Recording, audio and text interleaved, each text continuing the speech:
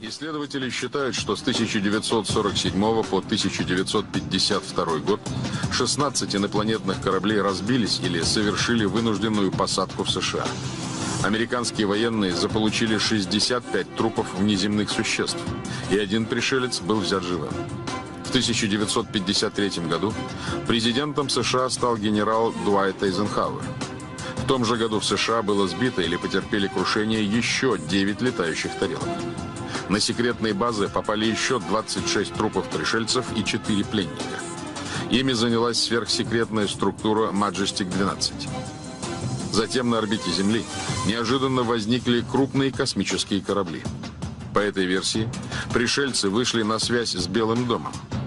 Они утверждали, что родом с планеты, которая вращается вокруг самой яркой звезды созвездия Орион – Бетельгейзе. Якобы их планета умирает, и им негде жить.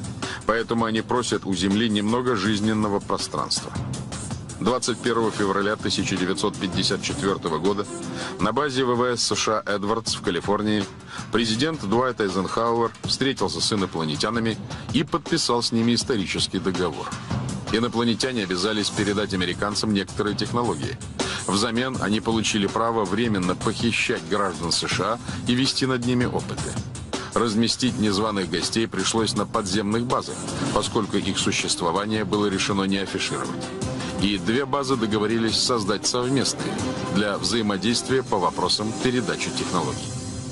Скорее всего, база 51 в Аризоне, по-моему, она действительно, подземная база была совместной. Их с пришельцами, с инопланетянами, которые в обмен на согласие брать человеческую количество людей для исследований, подчас и безвозвратных, насколько мы знаем, а взамен давали какие-то свои технологии. Так начался этот кошмар, который мировые правительства тщательно скрывают от простых людей. Независимые исследователи-уфологи назвали его «возвратными похищениями». Да, они похищают людей, но всегда возвращают. Мне неизвестны случаи похищения, в которых люди не возвращались бы. Очень частые истории, например, когда людей как будто высасывают из жилья через окно и приземляют в нескольких сотнях километров от этого места. Но похищенные тут же сообщают о себе. Такое произошло в Австралии, кажется, в 2002 году, с дамой, которую унесло километров на 700. Женщина, обнаружившая ее через пару часов, позвонила ее родным и сообщила, где та находится. Человек не способен за столь короткое время преодолеть такое расстояние ни на машине, ни на поезде. Но родные видели, как эту даму вытягивало из окна. Исследователи считают, что эксперименты пришельцев над людьми оказались совсем не безобидными и не безвредными. Некоторые из них были направлены на достижение генетической совместимости двух рас – человеческой и инопланетной. Похищенные в основном рассказывают, что у них изымают гаметы. У мужчин сперматозоиды, у женщин яйцеклетки. Хотя об этом люди говорят неохотно. Но экипажи НЛО не интересуются ни людским мозгом, ни зубами. Только гаметами. Есть версия, что в итоге инопланетяне добились успеха, и земные женщины стали рождать мутантов. Этих гибридов хотели поставить во главе планеты и завоевать все жизненное пространство Земли для чужих по моим личным исследованиям, ведутся некие эксперименты, в том числе и по выведению гибридов человека или решению их проблем. Они пользуются нашими репродуктивными органами и э, субстанциями с тем, чтобы как гибридных людей создавать. А в последнее время, по мнению исследователей, инопланетяне все чаще стали применять технологию пересадки или замещения души. Хотя священникам всех земных религий эта проблема известна давно. Издавна это называют вселением бесов. Это называется явление трансмиграция. То есть подселение матрицы э, человека, э, существа иного, в тело человека. Подчас это идет с замещением э, души человека. Я поначалу своей деятельности, ну, не верил это. Я думаю, первый я узнал от американских э, ученых, что такое бывает, и термин появился, э, трансмиграция. Но сам столкнулся тоже с таким явлением, когда взрослым людям заменяли э, матрицу человеческую, и он жил э, как нормальный человек э, и становился, ну, может, наблюдателем здесь. Мирное сотрудничество инопланетян с планетной системы звезды Бетельгейзе и американских спецслужб со временем оказалось под угрозой. Инопланетяне изначально обязались возвращать обратно похищенных на борт НЛО или доставленных на базы. Однако все больше людей пропадало без вести. И они прекратили, американцы Э, ну, испугались этого и стали как бы противодействовать, и, возможно, и изгнали или, по крайней мере, попросили. Но земляне были намного слабее старших братьев по разуму. Долгое время на инопланетный беспредел пришлось просто закрывать глаза. В Пентагоне и Белом доме решили не разворачивать конфликт, пока не создадут или не получат в руки оружие, с которым смогут разговаривать на равных. Приоритет отдавался оружию, принцип действия которого основывался на пучках свободных электронов. Электромагнитные бластеры могли вывести из строя на расстоянии как аппаратуру противника, так и его самого. По некоторым сведениям, американским военным удалось создать нечто подобное, анализируя фрагменты, обнаруженные на упавших НЛО. В результате были разработаны проекты «Джошуа» и «Эскалибур». Есть такие вылазки, в том числе в изучении нового оружия на новых принципах мы можем это приписать как инопланетянам, так же и как и врагам значит, э, как сказать, э, самого человечества, самому себе. В разных уголках земного шара происходят события, указывающие на обоснованность этой версии. В автобусе, следующем из Жигулевска в Тольятти, ехали пять абсолютно одинаковых мужчин. Эта группа людей выглядела странно. Они были одинаково одеты, имели на лице идентичные бородки и были причесаны на один манер. Но и это еще не все. Пассажирам Пазика показалось странным, что неизвестные стояли кругом спина к спине и в таком положении проехали несколько остановок. Выйдя на остановке, которая находится буквально у нас за спиной, они э, завернули за зад автобуса и просто посреди площади исчезли. Просто исчезли на ровном месте. Тогда не было киоска, который виден на этих кадрах. Не было ничего, что могло хоть как-то закрыть другим пассажирам видимость. Имелось только совершенно ровное поле. Куда пропали эти пять человек, совершенно непонятно. Что с ними произошло? Было ли это преднамеренно? Э, это тоже совершенно непонятно. Но надо сказать, что подобного типа явления у нас происходит статистически часто. Гораздо чаще, чем, честно говоря, того бы хотелось. Исследователи НЛО считают, что это были люди в черном, биороботы инопланетян. Они следят за сокрытием фактов о деятельности пришельцев на планете и выполняют иные их указания. В ноябре 1985 года президент США Рональд Рейган на встрече в Женеве с генеральным секретарем ЦК КПСС Михаилом Горбачевым неожиданно заговорил об угрозе инопланетного вторжения на Землю. Американский лидер фактически предложил забыть о холодной войне и объединить усилия перед лицом гипотетического удара из космоса. В протокольной записи Женевской беседы Рейгана и Горбачева говорится, что генсек ответил президенту цитатой из Библии. К сожалению, не сказано, какой именно. Михаил Сергеевич попробовал отшутиться. Однако Рейгану было не до смеха.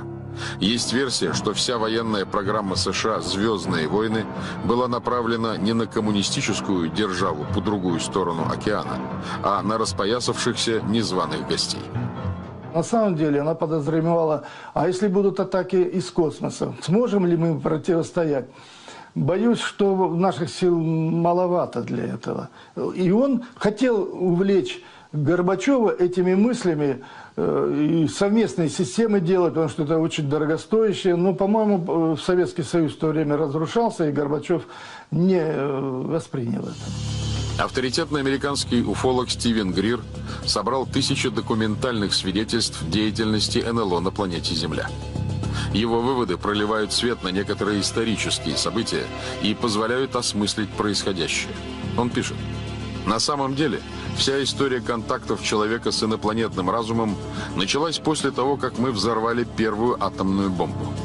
Мои беседы с людьми, которые работали с Вернером фон Брауном, создававшим ракеты для нацистов, а впоследствии ключевой фигурой нашего космического проекта, разговоры с моим дядей и другими участниками этих программ в 60-е годы подвели меня к выводу.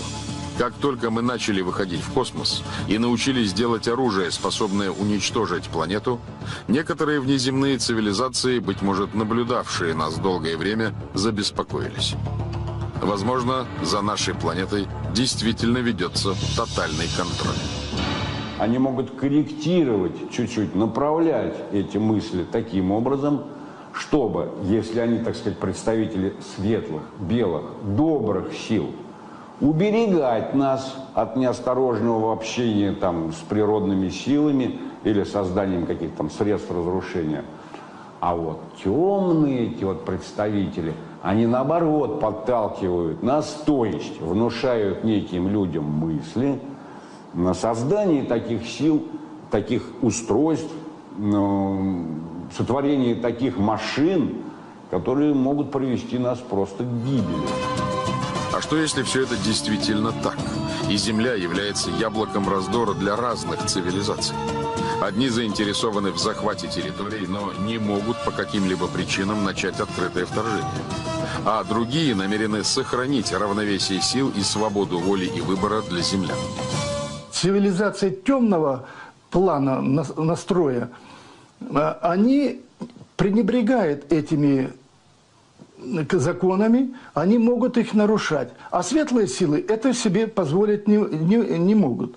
И чаще всего не позволяют. Они не вмешиваются особо. И лишь только вопли наши или там обращения какие-то их э, подчас побуждает э, что-то предпринимать какие-то усилия. Тема инопланетных посещений уже полвека остается окруженной совершенно непроницаемой, беспрецедентной по плотности завесой секретности. К некоторым данным не допущен даже президент США и директор ЦРУ. Возможно, те политики, которые со смехом говорят о зеленых человечках в летающих тарелках, как о современном фольклоре, просто не в курсе происходящего.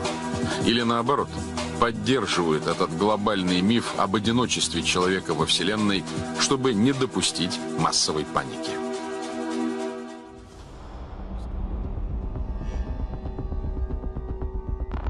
Эту безлюдную высокогорную пустыню посередине американского штата Невада чужим путь категорически закрыт. Здесь находится особо секретная территория, о которой ходят самые невероятные слухи. Когда-то эта зона входила в состав испытательного полигона военно-морских сил США. На нем проводились подземные ядерные эксперименты, а на расположенном рядом с городком Танопа аэродроме Неллис ставили на крыло новейшие в ту эпоху образцы авиационной техники. И вдруг в 1951 году на дне высохшего озера Грумлейк, южнее Танопы, развернулись загадочные строительные мероприятия – Весь персонал аэродрома, вплоть до медиков, неожиданно вывезли с базы, и казармы на полгода заняли военные строители. Часть взлетно-посадочной полосы была разобрана и перенесена под землю. После окончания работ приемку объекта осуществляли люди в штатском. Затем взлетно-посадочная полоса была восстановлена, чтобы все выглядело как прежде. На базе были приняты беспрецедентные меры по охране не только наземной территории, но и окружающего воздушного пространства. Территория получила кодовое название «Зона 51». Считается, что это самое секретное место на Земле.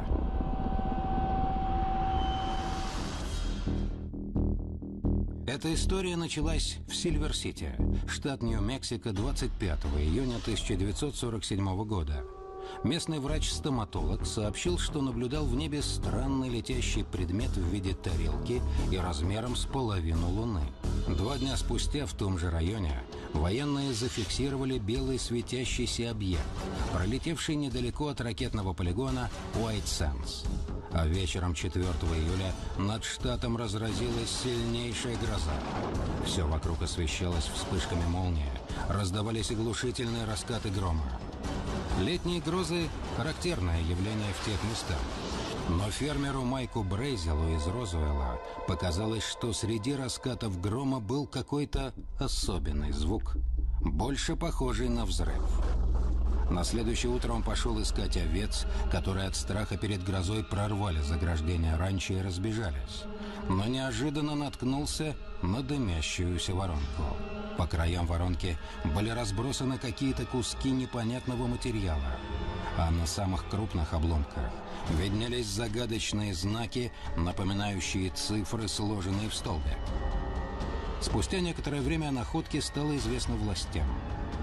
Воронка с обломками была оцеплена военными, а самого фермера отвезли на базу ВВС, где заставили подписать документ, как будто он ничего не видел, ничего не знает и обязуется держать язык за зубами. Тем не менее, по штату поползли слухи, что под Розуэлом произошло крушение инопланетного корабля. И на месте катастрофы, помимо останков летательного аппарата, были найдены тела пилотов странного вида человечки неземного происхождения. посещали Землю на всем э, протяжении существования человечества, а может быть даже еще задолго до его появления. Поэтому вероятность того, что сотни и тысячи лет э, назад на Землю могли э, прилетать представители высокоразвитых цивилизаций, естественно, своей высокоразвитой летающей техники, сомневаться в этом может лишь тот безумец, который выдвинет антинаучную версию, что человеческая цивилизация Э, одна единственная во Вселенной, и, боль, и второй такой существовать не может. Слухи вокруг события в Розуэле продолжали расползаться по штату и за его пределы. Несмотря на предпринятые военными попытки засекретить факт крушения неопознанного летающего объекта, особенно бурно обсуждалась тема «человечков». Некоторые утверждали, что их было трое, другие, что четверо – а есть и такие, кто озвучивает количество пять погибших.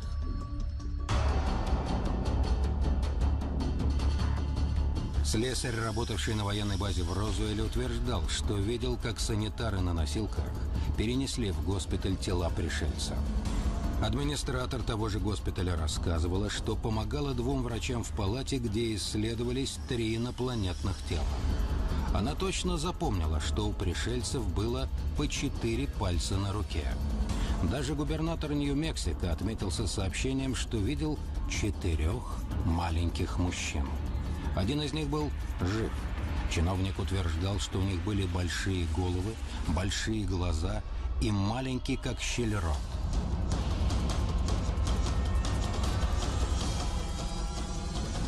Дальше больше стали привлекать журналистов, стали привлекать кинооператоров, фотографов профессиональных. А, ну, была игра хорошая. А потом, когда поняли, что могут за эту игру получить по шапке от вышестоящих, там, вплоть до а, ближайшего окружения президента страны, и вдруг все замолчали, а и народная молва, значит, сразу что-то тут не то, значит, что-то раскрыли.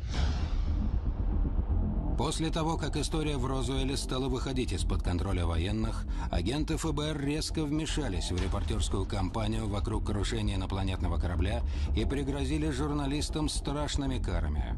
Очевидцы были вызваны на допрос, где подписали признание, что отказываются от своих слов. Последний слух, который совсем недолго ходил по Розуэлу, был таков. На базу приземлился военно-транспортный самолет. На его борт в режиме строгой секретности погрузили ящики с обломками таинственного объекта, обнаруженного на ранчо фермера Майка Брейзела, и капсулы с каким-то биологическим материалом. Капсулы были привезены из местного госпиталя. После погрузки самолет сразу взлетел и взял курс на Неваду. Так называемый Розуэльский инцидент вскоре был забыт, а через несколько лет в Неваде, близ озера Громлейк, начались секретные строительные работы на авиабазе Неллис. К концу 1951 года стройбат закончил свою работу, и на его место прибыла команда, носившая кодовое название «Красный свет». Команда состояла из 800 человек. Все они жили на базе. Объект был окружен тройным кольцом охраны. Небо над базой контролировалось несколькими батареями ПВО. Затем появились люди в гражданской одежде. Это были ученые, имевшие допуск к работам с самой высокой степенью секретности.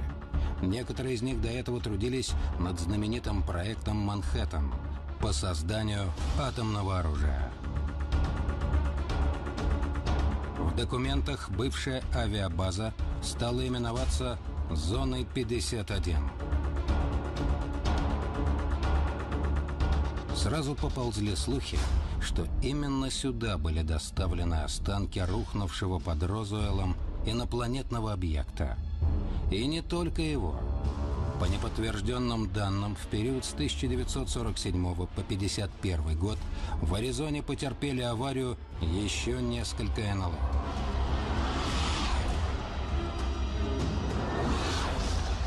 Этим тарелкам военные дали кодовое название «Элиан». Вот эти «Элиан» э, были перенесены, перевезены, доставлены, короче, в определенный район, э, в другой штат, в Неваду, э, в район э, Неллис, в район озера Крум-Лейк, который потом стал называться условно зона 51 по там, местной высотке с этим, с таким же наименованием. Вот, и у нас об этом знали тогда, но все это было секретно. Далее стала просачиваться информация, что сотрудники базы сумели частично восстановить разбившиеся инопланетные летающие объекты и даже попытались совершать полеты на них. По другой информации, корабли инопланетян были просто скопированы.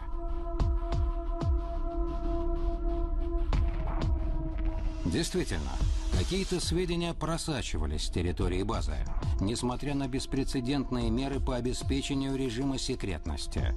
Особо пронырливым репортерам стало известно, что в глубоких подземных ангарах зоны 51 находятся три НЛО, два из которых были целыми, а третий – разобранным. Также просочилась информация, что в таинственных лабораториях, находящихся глубоко под землей, в особых атмосферных условиях, содержались два живых гуманоида инопланетянина. Один был одет в серебристый костюм, на другом коричневый обтягивающий комбинезон. Оба существа невысокого роста, серовато-белой кожей. Один, по слухам, умер в 1952 году, другой прожил еще 8 лет.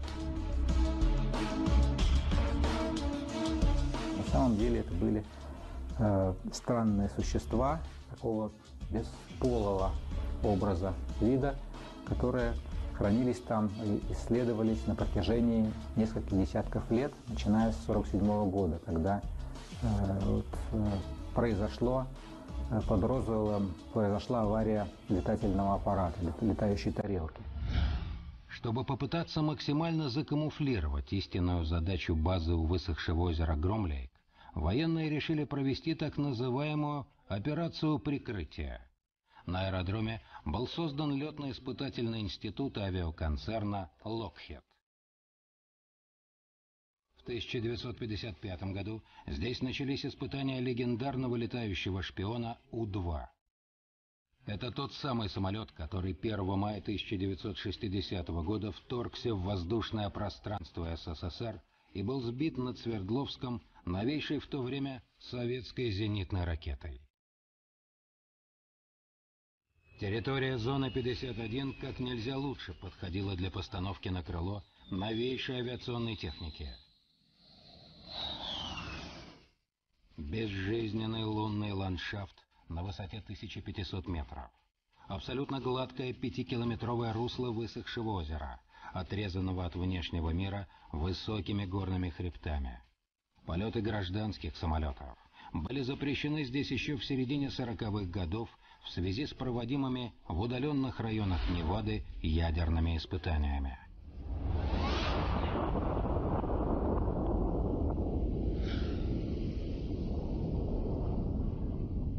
Когда кто-то из обычных летчиков с других авиабаз случайно попадает в пространство над э, Неллис, э, случайно там или, не дай бог, совершит посадку, то они потом э, проходят буквально все круги ада для того, чтобы выбраться оттуда.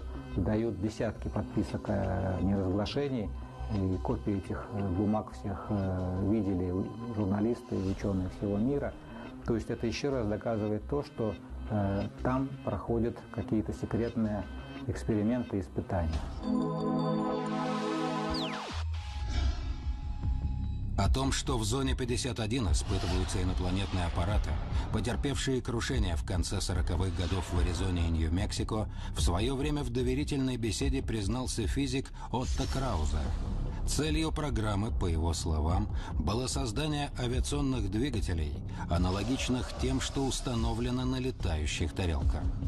Через увеличительную оптику НЛО над Громлейком не раз видели участники ядерных испытаний в Неваде. Попросив не называть их фамилии, специалисты авиабазы «Неллис» рассказывали, что на экранах радаров не раз наблюдали, как объекты, летающие с немыслимыми скоростями над зоной 51, внезапно, как по команде, останавливались и зависали в воздухе.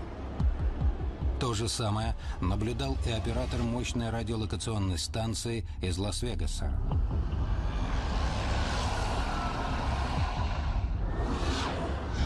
Вот типичное высказывание людей, работавших в Неваде. У нас там есть вещи, которые в буквальном смысле слова не из нашего мира. Мы работаем с такими невероятными проектами, что режиссер «Звездных войн» Джордж Лукас позеленел бы от зависти.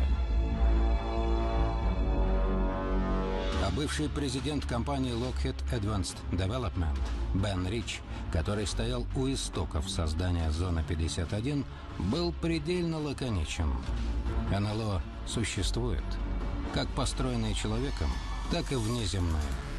Причем некоторые инженеры, которые разработали такие технологии, как, например, стелс, то есть самолеты-невидимки, однозначно намекали на то, что все идеи были взяты от пришельца.